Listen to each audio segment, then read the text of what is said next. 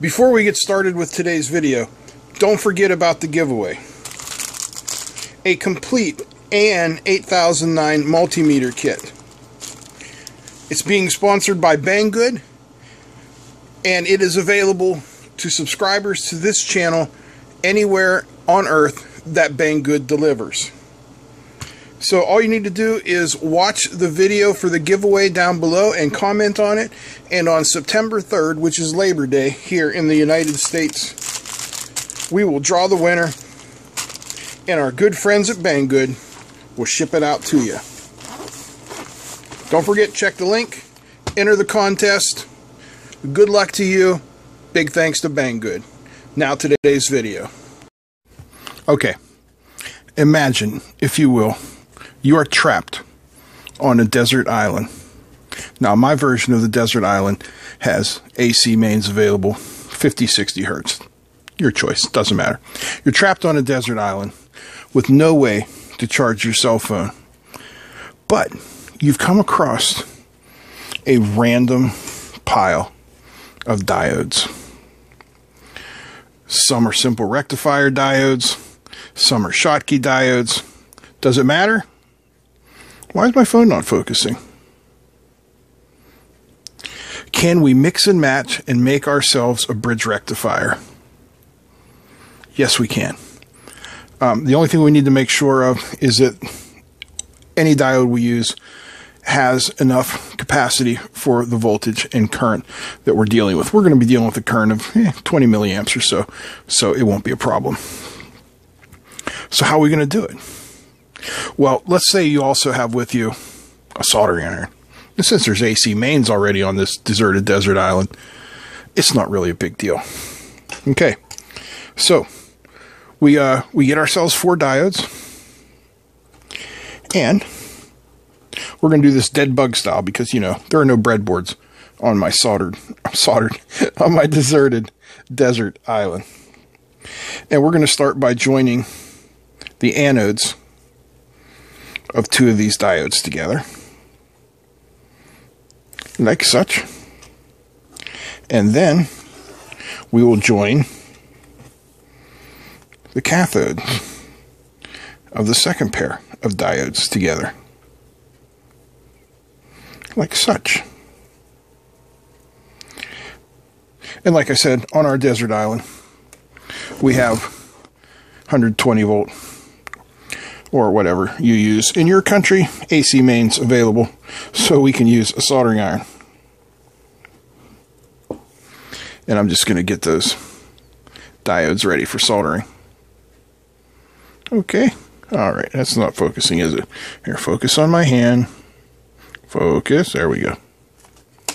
So this is our first step. We join one pair at the anodes and we join one pair at the cathodes. In fact, if your desert island doesn't have uh, soldering iron available, you can just twist them together.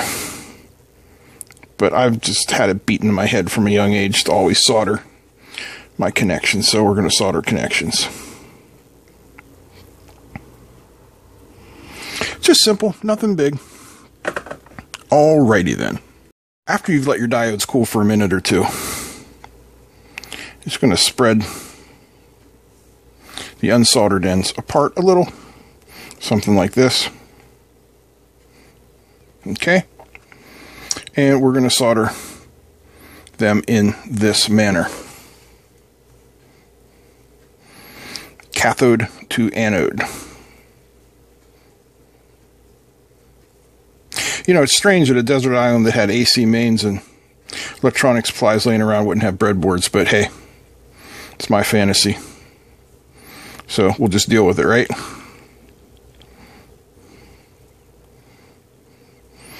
And then Veville salters them up, right?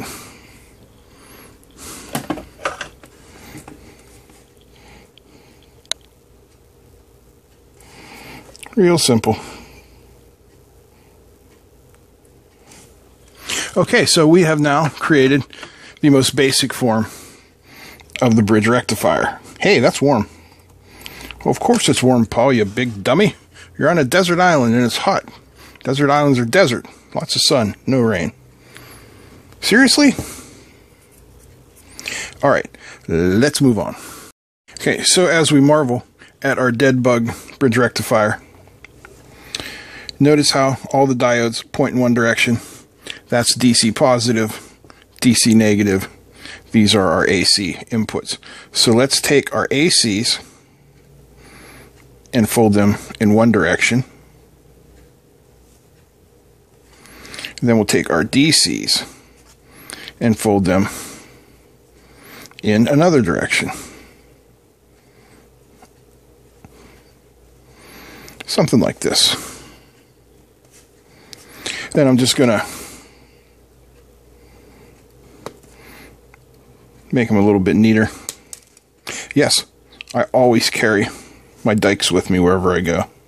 I know these aren't really dikes, these are side cutters, but whatever, it's my fantasy.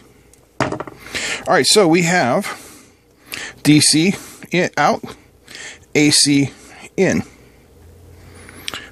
Should we try it out?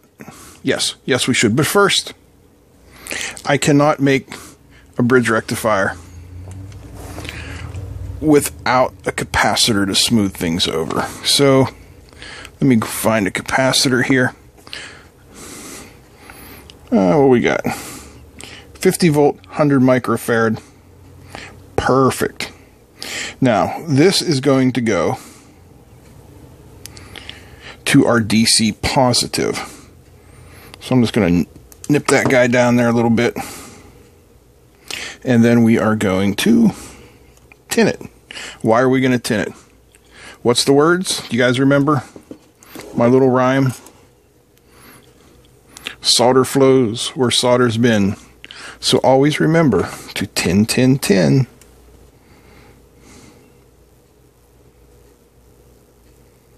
There we go. Then we'll take our uh, DC positive. It's going to trim some of that off here.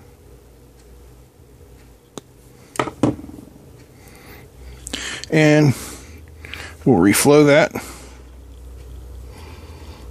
Yes, I know I haven't cleaned off my tip in a hot minute.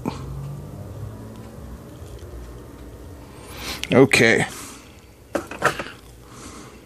right, my OCD requires me to add an equal length piece of wire opposite that capacitor to balance things out.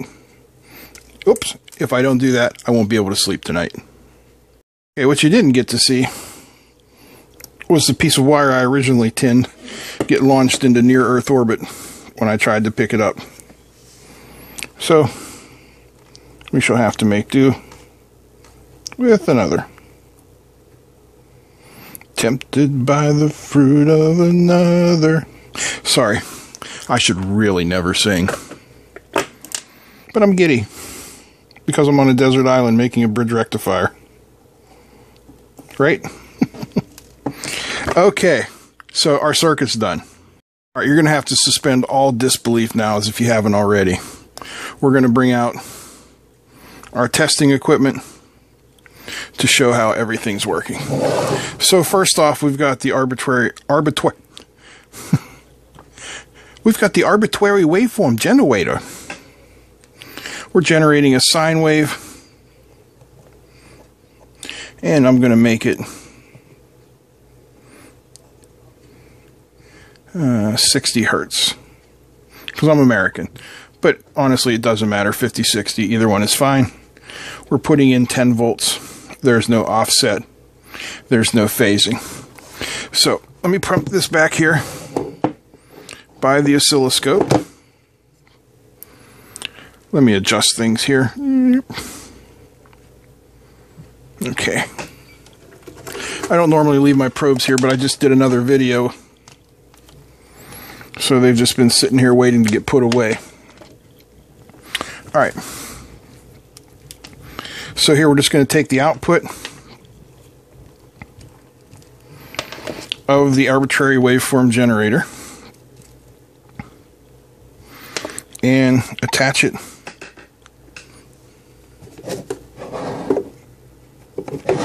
There we go. And we'll take a look at the waveform. There we go. Channel 2 is not on. So there we are. Let's uh let's couple this AC. All right, that's odd. Trigger menu.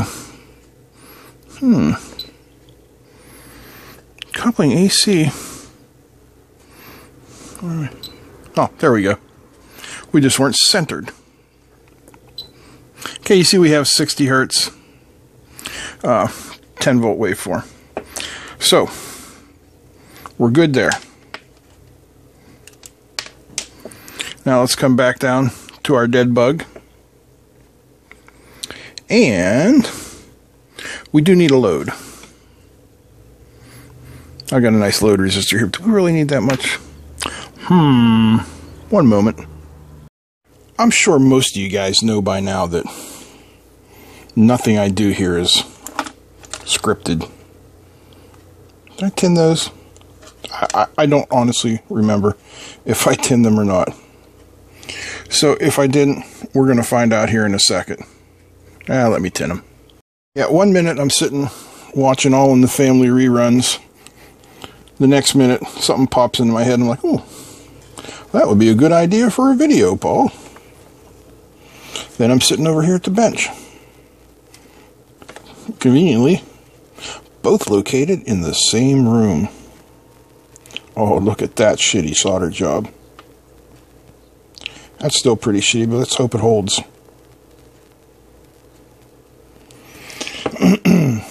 Okie dokie. Again, this is simply, let's call it a thought experiment, like Schrodinger's cat. You don't actually put the cat in the box, you just think about the cat in the box. But in this case, we're we are actually putting the cat in the box.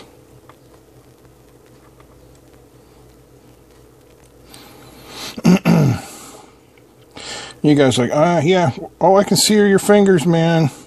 I know. It's Friday night, it's late. Give me a break. All right, let's solder up.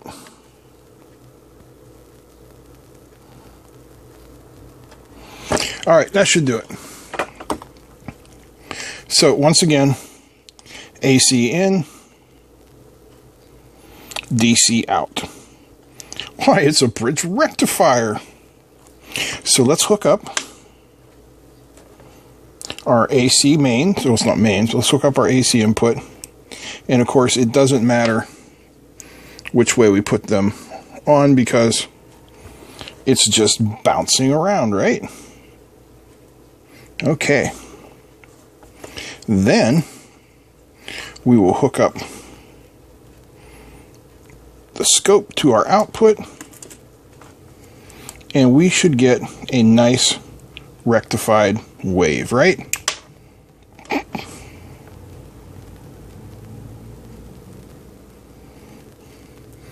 And let's see what we get.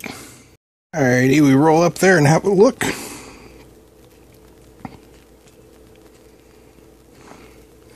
Go back to oh, channel one there. And very nicely, pardon me, we have our rectified signal. Not too bad for being trapped on a desert island. So again, just a simple thought experiment about mixing and matching diodes. Type of diodes really don't matter as long as your voltage and current do, do not exceed the specifications for the diode and you're operating at, at mains frequencies. You know, once, once you get up into hundreds of Ks, and things get changed. But for now, this is bueno. All right. I hope you guys enjoyed this. If you did, give me a thumbs up. Feel free to comment, share, and don't forget to subscribe. Big thanks to all the patrons. That's it. I'm out. Peace.